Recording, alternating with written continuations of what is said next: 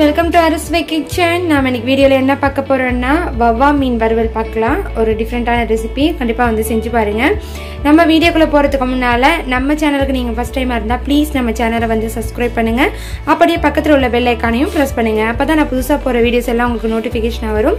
பாருங்கள் வவ்வா மீன் வந்து நான் இந்த மாதிரி வாங்கி கீறி விட்டுட்டு இந்த மாதிரி க்ளீன் பண்ணி எடுத்து வச்சுருக்கேன். நெக்ஸ்ட்டு பார்த்தீங்கன்னா மசாலா வந்து இதில் போட்டு நம்ம திரட்ட போகிறோம் ஸோ வறுக்கிறது மட்டும் இல்லாமல் அதுக்கப்புறம் மசாலா ஆட் பண்ணி நம்ம வாழை இலையில வச்சு வறுக்க போறோம். முதல்ல வறுக்கிறதுக்கு தேவையான எல்லா மசாலாவையும் இதில் ஆட் பண்ணி இதில் மசாலாவை அப்ளை பண்ணிக்கலாம். முதல்ல பார்த்தீங்கன்னா இது மசாலா போடுறதுக்கு தேவையான இதெல்லாம் மசாலா சொல்லிடுறேன் நான் ஃபஸ்ட்டு இதில் ஒரு ரெண்டு ஸ்பூன் மாதிரி வந்து மஞ்சத்தூள் ஆட் பண்ணிக்கிறேன். மிளகாத்தூள் பார்த்தீங்கன்னா ஒரு ஒன்றரை ஸ்பூன் பெப்பர் வந்து ஒரு ஒன்றரை ஸ்பூன் ஆட் பண்ணிக்கிறேன். இதுக்கு மேலே வந்து தேவையான அளவு இஞ்சி பூண்டு.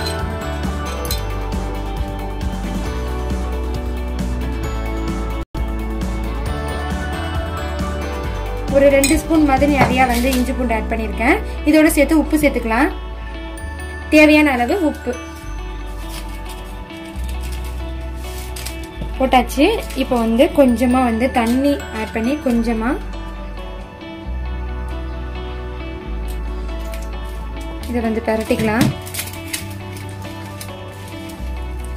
முதல்ல வந்து இதை வந்து ஃபஸ்ட்டு நம்ம அரை மணி நேரம் ஊற வைக்க போகிறோம் ஸோ அதனால் இப்போவே மசாலா போட்டு ஊற வச்சுட்டு அதுக்கப்புறம் வந்து அரைக்கிறதுக்கு தேவையான மசாலாலாம் நான் உங்களுக்கு சொல்லிடுறேன். ரொம்ப நல்லா இருக்குங்க. கண்டிப்பாக வந்து செஞ்சு பாருங்க. டிஃப்ரெண்ட் டேஸ்ட்டாக இருக்கும். ஸோ இன்னும் கொஞ்சம் கூட நம்ம தண்ணி ஆட் பண்ணிக்கலாம்.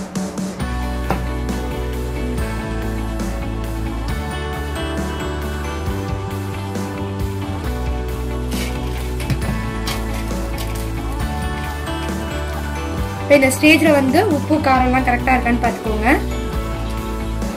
இப்போ வந்து மீனை போட்டு நல்லா நம்ம பரட்டிக்கலாம் மசாலாவோட.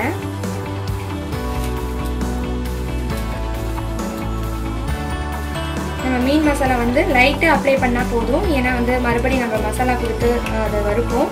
ஸோ அதனால லைட்டாக அப்ளை பண்ணிக்கோங்க. அதே மாதிரி லைட்டாக வறுத்தாலும் போதும்.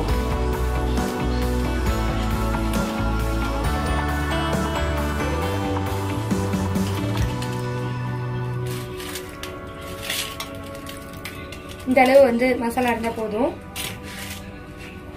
அடுத்த மீனையும் அதே மாதிரி வறுத்துக்கிறேன்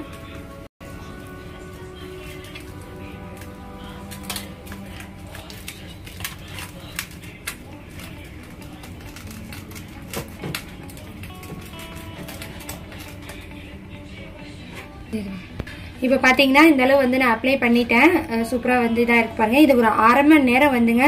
அரை மணி நேரம் ஊறணும். ஸோ அரை மணி நேரத்துக்கு அப்புறம் நம்ம வறுத்துக்கலாம். வறுத்தப்புறம் காட்டுறோம் காட்டுறேன் உங்களுக்கு. மணி நேரம் ஆயிடுச்சு. அரை மணி நேரத்துக்கு அப்புறம் நான் அந்த மாதிரி ஒரு பேன் எடுத்துட்டு அதில் வந்து ஒரு ரெண்டு டேபிள் ஸ்பூன் மாதிரி வந்து எண்ணெய் ஆட் பண்ணிக்கிறேன். சும்மா வறுப்படுறதுக்கு தேவையான அளவு. இது வந்து நாலா பக்கமும் போகிற மாதிரி நம்ம வந்து ஈவன் பண்ணிக்கலாம். ஸோ எண்ணெய் சூடு வந்ததுக்கு அப்புறம் நம்ம வச்சிருக்க வவ்வா மீன் ஆட் பண்ணிக்கலாம். இப்போ எண்ணெய் வந்து நல்லா சூடு வந்துருச்சு வந்துருச்சு. இப்போ வந்து நம்ம வச்சிருக்க மீன் ஆட் பண்ணிக்கலாம்.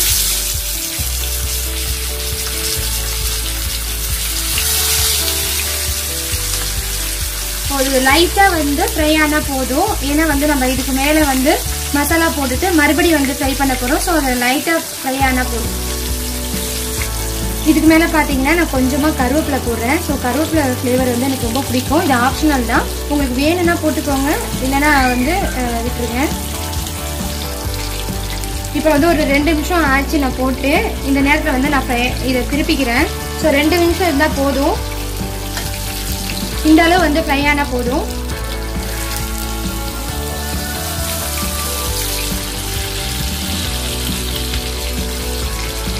இப்போ இந்த சைடு போட்டு ஒரு ரெண்டு நிமிஷம் கழிச்சிட்டு அதுக்கப்புறம் நம்ம எடுத்துக்கலாம். இப்போ வந்து திருப்பி போட்டு ஒரு ரெண்டு நிமிஷம் ஆயிடுச்சு ஃப்ரை ஆயிருக்கும். ஸோ இந்த ஸ்டேஜில் வந்து நம்ம மீனை எடுத்துக்கலாம்.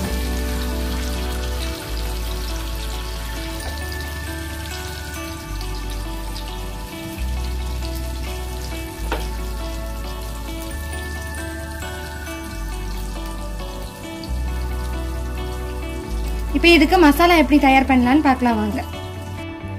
ஸோ இது வந்து அரைக்கிறதுக்கு தேவையான மசாலா என்னென்னு பார்த்தீங்கன்னா இது வந்து வறுக்கிறதுக்கு ஃபஸ்ட்டு வறுக்க போகிறோம் ஸோ ஒன்று நாலு பெரிய வெங்காயத்தை இந்த மாதிரி பெ- பெருசு பெருசாக வந்து நான் கட் பண்ணி வச்சுருக்கேன். அப்புறம் பார்த்தீங்கன்னா வதக்கிறதுக்கு வந்து தக்காளி ஒரு ஒரு தக்காளி பெரிய தக்காளியாக இந்த மாதிரி கட் பண்ணி வச்சுருக்கேன். கொஞ்சமாக வந்து கருவேப்பிலை எடுத்து வச்சுருக்கேன் மேலே தூரத்துக்கு அப்புறம் பார்த்தீங்கன்னா தேவைப்பட்டால் உப்பு அது ஆப்ஷனல் தான். ஆல்ரெடி நம்ம உப்பு ஆட் பண்ணியிருக்கோம். ஸோ வந்து அதுலேயும் கொஞ்சம் ஆட் பண்ணுவோம். நெக்ஸ்ட் பார்த்தீங்கன்னா அரைக்கிறதுக்கு வந்து கொஞ்சமாக வந்து ஒரு பத்து ஒரு பத்து சின்ன வெங்காயம் மாதிரி இந்த மாதிரி சின்ன சின்னதாக வந்து கட் பண்ணி வச்சுருக்கேன். அப்புறம் தேவையான அளவு எண்ணெய் கொஞ்சமாக வந்து இஞ்சி பூண்டு கொஞ்சமாக வந்து மஞ்சத்தூள் அப்புறம் வந்து கொஞ்சம் வந்து மிளகாத்தூள். இது தேவைக்கேற்ப நான் போடும்போது வந்து உங்களுக்கு அளவு சொல்கிறேன் சரி வாங்க இப்போ வதக்கிறதுக்கு எப்படி செய்கிறோன்னு பார்க்கலாம்.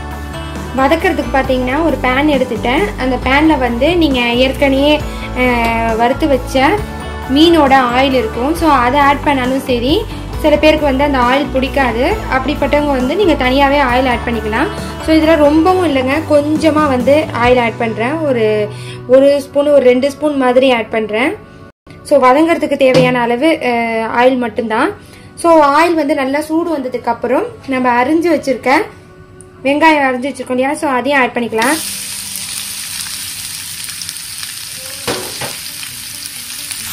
அதோடு சேர்த்து கொஞ்சமாக வந்து கருவேப்பிலை ஆட் பண்ணிக்கிறேன். இதை நல்லா வந்து வதக்கிக்கலாம். செவக்கிற அளவு நல்லா வதக்கிக்கலாம். ஸோ இது சீக்கிரம் வதங்கிறதுக்கு பார்த்தீங்கன்னா கொஞ்சமாக வந்து உப்பு ஆட் பண்ணிக்கிறேன். ஸோ கொஞ்சமாக ஆட் பண்ணால் போதும். ஏன்னா வந்து ஆல்ரெடி நம்ம உப்பு அதில் ஆட் பண்ணியிருக்கோம் ஸோ ரொம்ப உப்பு ஆட் பண்ணக்கூடாதுங்கிறதுனால நான் கொஞ்சமாக ஆட் பண்ணிக்கிறேன். இது வந்து நல்லா வதங்கிறதுக்குள்ளே பார்த்தீங்கன்னா நம்ம அரைக்க வேண்டிய பொருளெல்லாம் வந்து அரைச்சி வந்துடலாம். இப்போ ஒரு பத்து பதினஞ்சு வெங்காயம் மாதிரி வந்து சின்ன வெங்காயத்தை இந்த மாதிரி வந்து கட் பண்ணி போட்டிருக்கேன். இதோட வந்து நான் கொஞ்சமாக வந்து மஞ்சத்தூள் ஒரு அரை ஸ்பூனு அப்புறம் ஒரு அரை ஸ்பூன் வந்து மிளகாத்தூள். ஃப்ளேவருக்காக வந்து ஒரு பச்சை மிளகா ரெண்டாக கட் பண்ணி போடுறேன். அப்புறம் கொஞ்சமாக வந்து கருவேப்பிலை. ஸோ ஃப்ளேவர் நல்லாயிருக்கும் இந்த கருவேப்பிலை ஃப்ளேவரு அதனால தான் வந்து நான் கருவேப்பிலை ஆட் பண்ணுறேன் இது ஆப்ஷனல் தான். உங்களுக்கு வேணும் அப்படின்னு நினச்சிங்கன்னா கருவேப்பிலை ஆட் பண்ணிங்க. அதே மாதிரி காரத்துக்கு வந்து உங்களுக்கு பச்சை மிளகா காரம் ஃப்ளேவர் ரொம்ப பிடிக்கும்னு நினச்சிங்கன்னா பச்சை மிளகா ஆட் பண்ணிக்கோங்க. இது வந்து மிளகாத்தூளை கட் பண்ணிடுங்க. ஸோ மிளகாத்தூள் ஓகே க பச்சை மிளகா ஃப்ளேவர் பிடிக்காது அப்படின்னு நினச்சிங்கன்னா மிளகாத்தூள் ஆட் பண்ணிக்கோங்க. இந்த ரெண்டு ஃப்ளேவர் எனக்கு பிடிக்கும் ஸோ அதனால நான் எல்லாம் ஆட் பண்ணியிருக்கேன். இல்லை வந்து கலருக்காக வந்து கொஞ்சமாக வந்து காஷ்மீரி சில்லி. ஸோ இது போட்டால் நல்லாயிருக்கும் கலரு ரொம்ப எம்மியாக இருக்கும். ஸோ அதனால் வந்து நான் காஷ்மீரி சில்லி ஆட் பண்ணியிருக்கேன். இதுவும் ஆப்ஷனல் தான் உங்களுக்கு வேணும்னா ஆட் பண்ணிக்கோங்க. அதுக்கப்புறம் பார்த்தீங்கன்னா கொஞ்சமாக தண்ணி. தேவைக்கேற்ப அது அரைப்படுறதுக்கு தேவைக்கேற்ப கொஞ்சமாக தண்ணி ஆட் பண்ணிக்கலாம். இதை மூடி போட்டு அரைச்சிட்டு பதம் என்னன்னு சொல்லிட்டு உங்களுக்கு நான் காட்டுறேன். ஒரு மூடி போட்டு ஒரு ரெண்டு மூணு சுற்று சுற்றினா போதும். இது தாங்க பதம். ரொம்பவும் வந்து பட்டா இல்லாமல் ரொம்பவும் வந்து நர நரம் இல்லாமல் மீடியமாக மீடியமாக வந்து இந்த மாதிரி ஸ்டேஜில் வந்து அ- அரைச்சி எடுத்துக்கோங்க. இப்போ இந்த அளவு வந்து வெங்காயம் வதங்கிடுச்சு. ஸோ இந்த ஸ்டேஜில் வந்து நம்ம வந்து இஞ்சி பூண்டு ஆட் பண்ணிக்கலாம். ஸோ ஒரு ஒன்றரை ஸ்பூன் மாதிரி நான் இஞ்சி பூண்டு ஆட் பண்ணிக்கிறேன். இது போட்டு நல்லா இஞ்சி பூண்டு வாசம் போக நல்லா மிக்ஸ் பண்ணிக்கலாம்.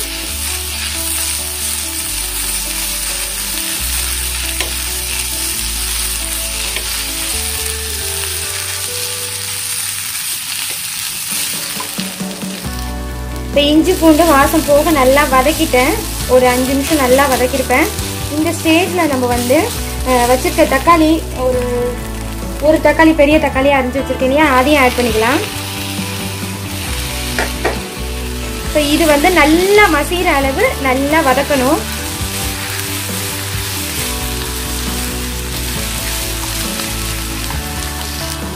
சீக்கிரம் வதங்கிறதுக்கு நம்ம மூடி போட்டுடலாம். இப்போ பாருங்க நல்லா வந்து மசிஞ்சிருச்சு தக்காளி. ஸோ இந்த ஸ்டேஜில் நம்ம அரைச்சி வச்சிருக்க பேஸ்ட் வந்து ஆட் பண்ணிக்கலாம். ஸோ இது பச்சை வாசம் போக ஒரு ரெண்டு நிமிஷம் மாதிரி நல்லா வதக்கிக்கணும்.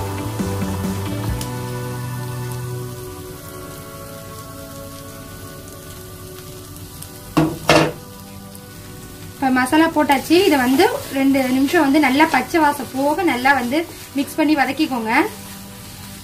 அதுக்குள்ளே பார்த்தீங்கன்னா நம்ம வாழை ரெடி பண்ணிடலாம். இப்போ பார்த்தீங்கன்னா வாழை இலை வந்து நான் இந்த மாதிரி கட் பண்ணி வச்சிருக்கேன். ஒரு முழு வாழை இலையை வந்து இந்த மாதிரி கட் பண்ணி நீட்டமாக அதுக்கு மேலே பார்த்தீங்கன்னா ஒரு பாதி சைஸ் வாழை இலையை வந்து இந்த மாதிரி நான் கட் பண்ணி வச்சிருக்கேன். ஏன்னா இதில் போட்டு தான் நம்ம பிரட்ட போகிறோம் ஸோ வந்து ரெண்டு லேயர் இருந்துச்சுன்னா உங்களுக்கு வந்து சீக்கிரம் விண்டு போகாமல் இருக்கும். வெளியில் வராமல் இருக்கும். அதனால தான் நம்ம ரெண்டு லேயராக எடுத்திருக்கோம். ஸோ இது மேலே வச்சு நம்ம இது மாதிரி சுருட்டி அதுக்கப்புறம் ஒரு த்ரெட் எடுத்திருக்கேன். கட்டுறதுக்கு நீங்க வந்து வாழை இலையில உள்ள நாரை வேணாலும் யூஸ் பண்ணிக்கலாம். இல்லைன்னா வந்து இந்த மாதிரி த்ரெட் இருந்துச்சுன்னா அதையும் யூஸ் பண்ணிக்கலாம். இலையை வந்து வாட்டிக்க போகிறோம் ஏன்னா அப்படிதான் அது மாதிரி வாட்டினா தான் வந்து உடையாமல் வரும். ஸோ அதனால வந்து லைட்டாக வந்து நம்ம வாட்டிக்கலாம்.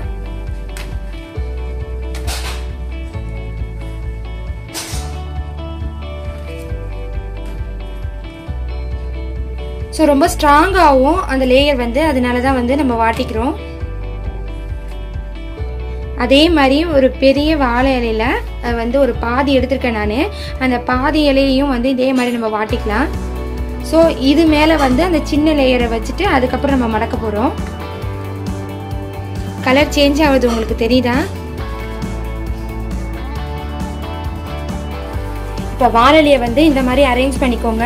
அது வந்து பெரிய ஒரு வாழை இலை அதுக்கப்புறம் பார்த்தீங்கன்னா கீழே வந்து இந்த சைடில் வந்து மடக்கிறதுக்கு வசதியாக இருக்கும்னு சொல்லிட்டு ரெண்டு லேயராக போட்டு அந்த வாழையில் அதுக்கு மேலே பார்த்தீங்கன்னா நடுப்புற இந்த ஒரு வாழை இலை இது எல்லாமே வந்து நான் நெருப்பில் வாட்டிட்டேன் லைட்டாக ஸோ வந்து இந்த மாதிரி வாட்டுறதுனால உங்களுக்கு வந்து சீக்கிரம் வந்து பிரிஞ்சு வராது. மடக்கவும் உங்களுக்கு ஈஸியாக இருக்கும். இதே நம்ம வந்து பச்சை வேலையை மடக்கணும்னா இந்த மாதிரி வராது. மொட மொடன் வந்து உடஞ்சிட்டு வந்துடும் ஸோ அதனால இந்த மாதிரி வாட்டி எடுத்துக்கிட்டாச்சு. இப்போ வந்து இது நல்லா பச்சை வாசம் பூவும் வந்து நல்லா வந்து ரெடி ஆயிடுச்சு. அந்த கருவேப்பிலை ஸ்மெல்லு அப்புறம் பச்சை மிளகா வெங்காயம் தக்காளி இஞ்சி பூண்டு அப்புறம் மசாலா ஸ்மெல் எல்லாம் சேர்ந்து நல்லா இருக்குங்க. இது நம்ம வந்து இட்லி தோசை கூட தொட்டு சாப்பிட்லாம். கண்டிப்பாக வந்து நீங்களும் ட்ரை பண்ணி பாருங்கள் இது எவ்வளோக்கு எவ்வளோ வேலையோ அவ்வளோக்கு வந்து சூப்பராக இருக்கும். ஓகே இப்போ வந்து ஸ்டவ் ஆஃப் பண்ணிடலாம். முதல்ல வந்து இந்த வாழை இலையில வந்து ஃபர்ஸ்ட் வந்து கொஞ்சமா மசாலா வச்சு அப்ளை பண்ணிக்கலாம். ஸோ அடியில வந்து அந்த மீனோட அடியில வந்து இந்த மசாலா ஆட் ஆகணும். ஸோ அதனால வந்து அடியில கொஞ்சம் நம்ம ஆட் பண்ணிக்கிறோம்.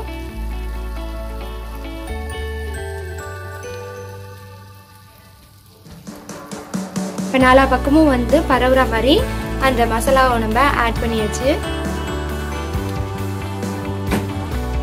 இப்போ நம்ம வச்சிருக்க மீனை வந்து இதில் வந்து ஆட் பண்ணிக்கலாம். நடுக்கிற ஸோ இது மேலேயே நம்ம என்ன செய்ய போகிறோன்னா கொஞ்சமாக வந்து மசாலாவை வைக்க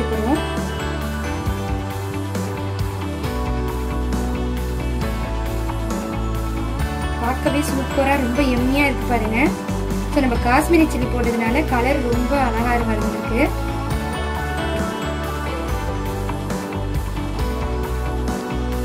இப்போ வந்து மசாலா வந்து மேலே அப்ளை பண்ணியாச்சு. இப்போ இதை நம்ம மடிக்கலாம் வந்து இப்படி மடிச்சுக்குவோம் எல்லாத்தையும். ஸோ நம்ம இந்த மாதிரி அரேஞ்ச் பண்ணி வைக்கிறதுனால ஈஸியாக இருக்குது நமக்கு மடிக்கிறதுக்கு. அதே மாதிரி அஹ், வாட்டினதுனால பாருங்கள் நல்லா மடிக்க வருது. இந்த மாதிரி வச்சுட்டு நம்ம வந்து இதுக்கு மேலே ஒரு நூலை வச்சிருந்தேன் அந்த நூலால் கட்டிக்கலாம். இப்போ பார்த்தீங்கன்னா நான் இந்த மாதிரி கட்டிட்டேன். ரொம்ப வந்து சேஃபாக கட்டிட்டேன். இதை வந்து நம்ம ஒரு பேனில் வச்சு லைட்டாக எண்ணெய் விட்டு நம்ம வறுத்துக்க போகிறோம் ஸோ அதுக்காக பார்த்தீங்கன்னா நம்ம வந்து ஒரு பேன் வச்சுட்டாச்சு அதில் லைட்டாக எண்ணெய் சூடு வர்றதுக்கு அளவு கொஞ்சமாக ஒரு ஒரு ஸ்பூன் மாதிரி ஆட் பண்ணிக்கோங்க. இதை வந்து நாலா பக்கமும் ஸ்ப்ரெட் ஆகுற மாதிரி இந்த மாதிரி இது பண்ணிக்கோங்க. ஸோ எண்ணெய் சூடு ஆனதுக்கு அப்புறம் நம்ம வச்சுருக்கேன் மீன் கட்டி வச்சிருக்கோம் இல்லையா? ஸோ இதை வந்து நம்ம அதில் வைக்க போகிறோம்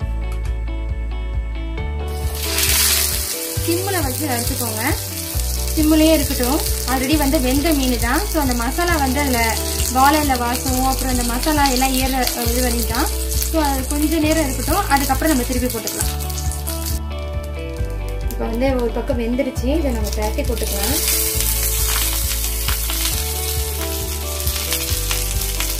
இதுக்கும் ஒரு ரெண்டு நிமிஷம் கழிச்சுட்டு நம்ம வந்து ஓப்பன் பண்ணி பார்த்துக்கலாம் இது வந்து நான் எடுத்துட்டேன். சூப்பராக வந்து எம்மியாக ரெடி ஆகிடுச்சு பாருங்கள் இப்போ வந்து இந்த மீனை வந்து பிரிச்சுக்கலாம்.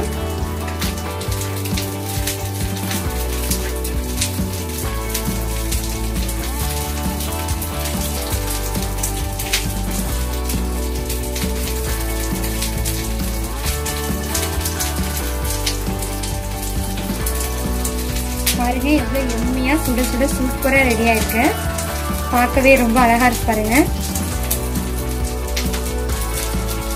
கண்டிப்பாக வந்து உங்களுக்கும் சாப்பிடும் போல இருக்கா? அப்போ கண்டிப்பாக வந்து ஒன்ஸ் வந்து ட்ரை பண்ணி பாருங்கள் நீங்கள் நார்மலாக மசாலா சாப்பிடாம இந்த மாதிரி மசாலா ஒரு ஒரு வாட்டி வந்து ட்ரை பண்ணி பாருங்கள் உங்களுக்கு கண்டிப்பாக இந்த வீடியோ வந்து பிடிச்சிருக்கும்னு நினைக்கிறேன். யூஸ்ஃபுல்லாக இருந்திருக்கும்னு நினைக்கிறேன். அப்படி பிடிச்சிருந்துச்சுன்னா லைக் பண்ணுங்கள் ஷேர் பண்ணுங்கள் மறக்காம நம்ம சேனலை சப்ஸ்கிரைப் பண்ணுங்க. தேங்க்யூ தேங்க்யூ ஃபார் வாட்சிங்